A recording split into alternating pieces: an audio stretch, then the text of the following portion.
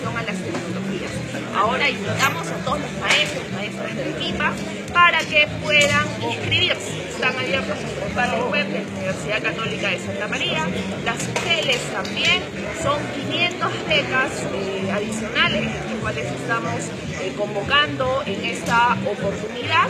y eh, decirles que la innovación en este año, en esta segunda convocatoria, es de que los docentes contratados en dos años de antigüedad van a poder acceder también a beneficiarse de la maestría participando en el proceso de admisión del 21 de mayo en la Universidad Católica de María. ¿Cuántas becas son?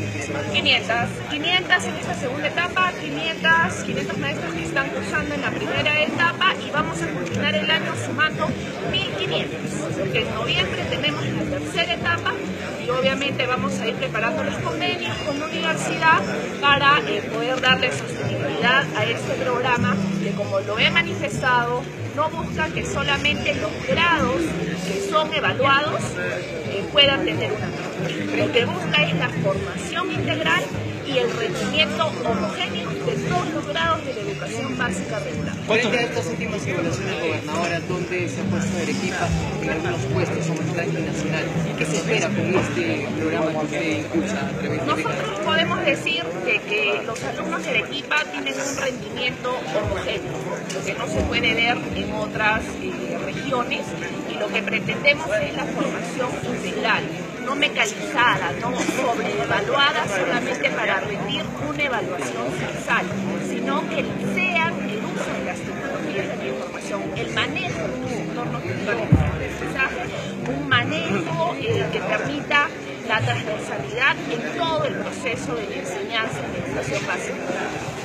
Pero ¿cómo llegar a tener estos resultados gobernadora sabiendo de que en zonas rurales casi no llega mucho el sistema de internet, sistemas tecnológicos, carecen de equipamiento, logística y otros? Actualmente eh, todas las provincias ya cuentan con la red dorsal, lo que ahora tenemos que hacer es implementar que llegue al 100%, al 100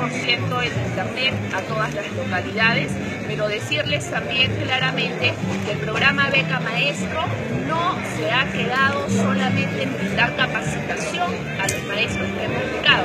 sino que al momento que egresen van a contar con una laptop y herramienta para que todo lo que han aprendido lo puedan aplicar en el aula y lo puedan compartir con sus colegas en una misma comunidad educativa. ¿Cuánto es la inversión que está destinando el gobierno regional para capacitar a los Bueno, en realidad toda la capacitación eh, supera el millón de, de soles que es el aporte privado y obviamente también hay un aporte de universidad valorizado más de los 10 soles que es el. Doctora, cambiando un poco de tema, también